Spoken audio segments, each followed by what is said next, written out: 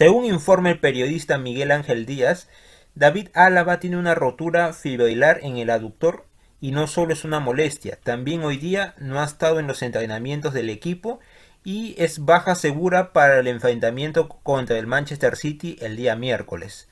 Bueno, como sabemos, eh, esta es una gravísima noticia, ya que David Álava sabemos que es pieza fundamental de la defensa de Real Madrid, lo ha sido toda la temporada junto a Eder Militao.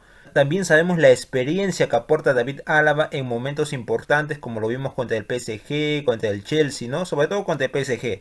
Entonces, esto es un inconveniente total porque la verdad que sí es cierto que tenemos a un Nacho Fernández que es un buen defensor y cumple como suplente de todas maneras tiene también experiencia es canterano de Real Madrid eh, funciona muchas veces pero de todas maneras no vas a comparar a un David Álava no y como vemos actualmente vemos al Manchester City que viene goleando en su liga ya lo vimos en el partido anterior contra el Leeds que ha goleado. Entonces, este va a ser un partido muy complicado en la vuelta. Y aparte, Real Madrid es cierto que tiene que remontar. Es cierto que es mínima, eh, mínima la diferencia, pero de todas maneras tiene que remontar y de todas maneras el City va a aprovechar cualquier eh, error del Real Madrid, ¿no? Y, de todas maneras va a salir, ¿no? A, hacer su juego y sabemos que va a salir a la ofensiva. De todas maneras, tiene con qué.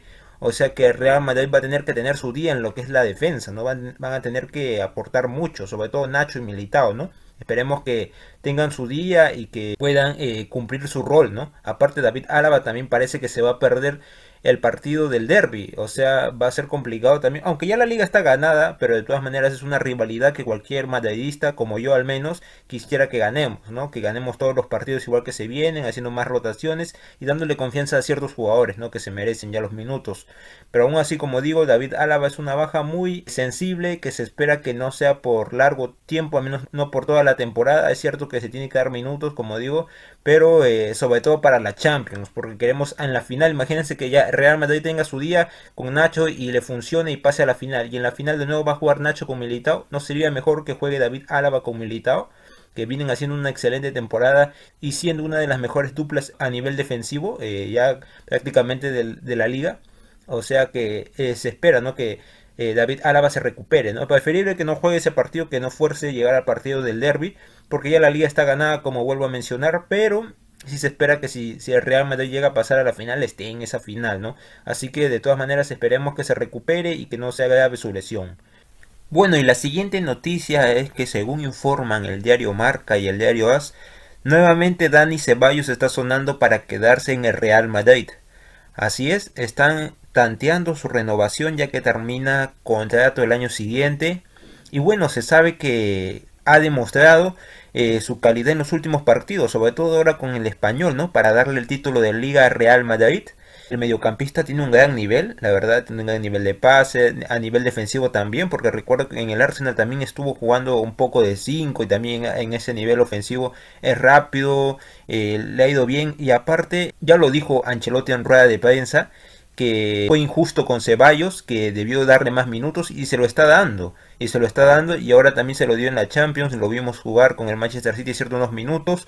Pero aparte, Dani Ceballos es un jugador que lo que más me gusta de él es que no para de correr, o sea que tiene una voluntad muy grande para el equipo, a pesar de que tiene un rol de muy suplente, ha tenido toda la temporada y a pesar de que tiene estos últimos partidos está demostrando su calidad, tiene poca continuidad y lo sigue haciendo de manera muy eficaz y a pesar de que para mí en su momento sí es cierto que fue una promesa española para el Real Madrid que apostó por él y lo mandó cedido y todo porque Zidane no lo quería y no se le dio la oportunidad a Dani Ceballos, ¿no? Para mí se le debería dar la oportunidad en estos momentos ya que para Ancelotti puede ser fundamental ¿no? para la siguiente temporada, sobre todo para darle rotaciones a, al medio campo, ¿no? de Luca Modric, Tony Kroos y bueno, esos centrocampistas mayormente, imagínense para una Copa de Rey, quizás no Dani Ceballos podría jugar de titular y esto sería muy bueno, porque el jugador español eh, es cierto que también dicen que quiere jugar el Mundial de Qatar, pero se nota que tiene mucha voluntad de juego, tiene mucha calidad y muchos han, sobre todo antes decían, ¿no? ¿Por qué Dani Ceballos no, no se queda en el Real Madrid, ¿no? Era cuando estaba Zidane, ¿no?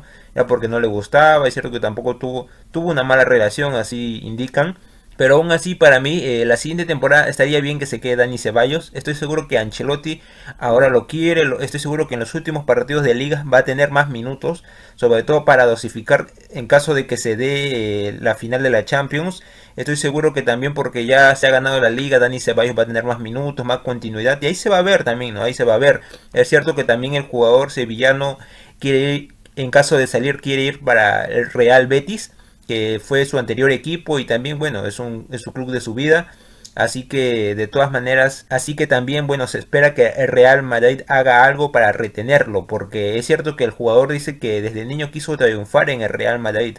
O sea, es un sueño, ¿no? Como español también que es él, pero también quiere al club del Real Betis pero quizás en algún futuro quizás quiera volver a ese equipo para retirarse, pero bueno, lo importante es que el jugador eh, tiene la voluntad de quedarse y tratar de dar lo mejor de sí, ¿no? Aparte es un jugador con una buena actitud, que no, da malos gestos, o sea, es bueno para el vestuario, y eso es importante también, la unión del vestuario. Entonces, ese es otro aspecto en el que Ancelotti ha trabajado muy bien esta temporada, a pesar de que con jugadores que prácticamente se iban a ir, como Dani Ceballos, y también como el propio Isco, ¿no? Eh, ha estado haciendo que haya mucha unión en el vestuario y esperemos que Ceballos tenga las oportunidades, al menos para culminar esta temporada y pueda quedarse para la siguiente. Bueno amigos, eso sería todo. No olviden dejar su enorme like, suscribirse y nos vemos en un próximo video. Bye bye.